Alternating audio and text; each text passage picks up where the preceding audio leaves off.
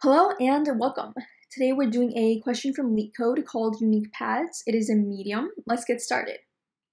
A robot located at the top left corner of a n by n grid, marked start in the diagram below.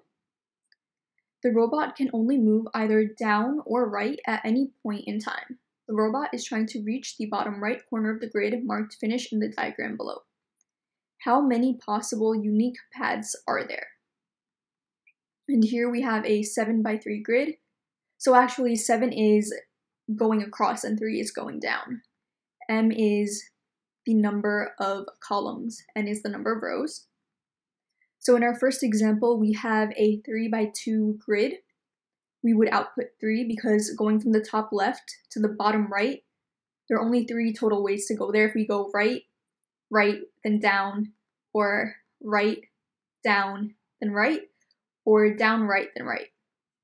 And given a 7 by 3 grid, we would output 28. And this is the grid that we had up here. So for these questions, we should always start with our very, very um, base case and see if we can work our way up from there. So if we just have a 1 by 1 grid, what would we output? So that's obviously just 1, right? Um, if we had a 1 by 2 or a 2 by 1 grid, so if we just had these two blocks right here, and we wanted to get to this block, we would still output 1. There's only one way to get to here. Similarly, down here, there's only one way, just going down. Now, if we had a 2 by 2, we wanted to get here. What would our answer be? Well, if we're over here, we know that we can only ever travel down or right. So if I want to get to here, I can only come from the block over left or the one up. And I know from here, we only had one possible way to get to here and one possible way to get to here. So anytime I want to get to here, I know that I can only come from here here, so I can only come from two total places.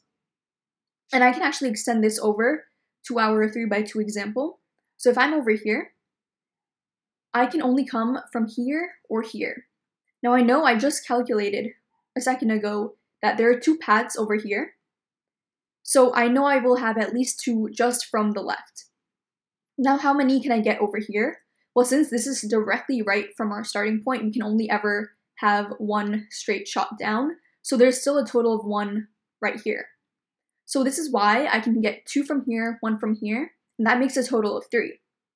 So if you can see the pattern here, we can only ever come from the top or the left.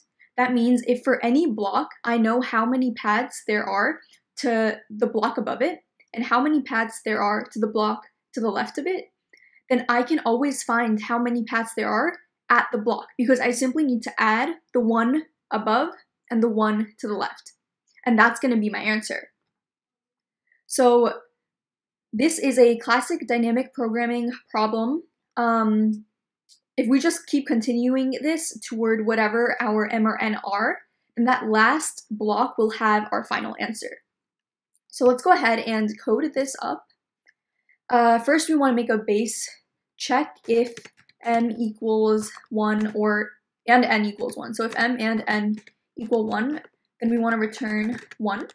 If that is not the case, then we want to make our dp array. So dp equals, I'm going to start with a list of 1 times, it's going to be times m, and then that is going to be the number of columns, and then I want to multiply all the columns by the number of rows, so times n.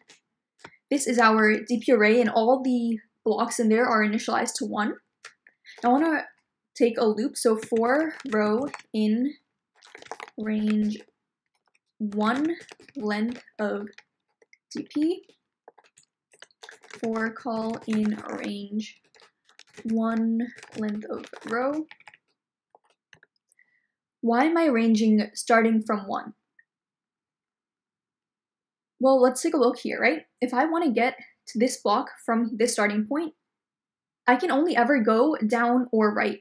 So here, to get to here, there's no possible way I can ever go down. So I can only keep going right. And every single block in this row has a path of 1. There's no other way to get to these blocks. Similarly, going down that first column, all of these are also 1. So the first uh, column and the first row, they're all marked by the value 1. And since I initialized my DP array to all be 1, I can just start from here, and I, that way I don't really have to worry about going out of bounds either. I can start from here, see what my path is from above to the left, and sort here. Then as I move on, I can use these new values that I've calculated to continue calculating further. So now that I'm starting from 1 and going forward, I'm going to store dp of row column equals dp of row minus 1 column plus dp of row column minus 1. So this is going from the left and the top to calculate that new value for row column. And once I have filled my entire array out, I just need to return this last value here. So I'm going to be returning dp minus 1 minus 1. And this is just accessing the last element in any list. Let's run this code. There is an error. Oh, this should be a dp of row. Run code. Accepted. Let's submit. and it is accepted. So if you have any questions, let me know down below. Otherwise, I'll see you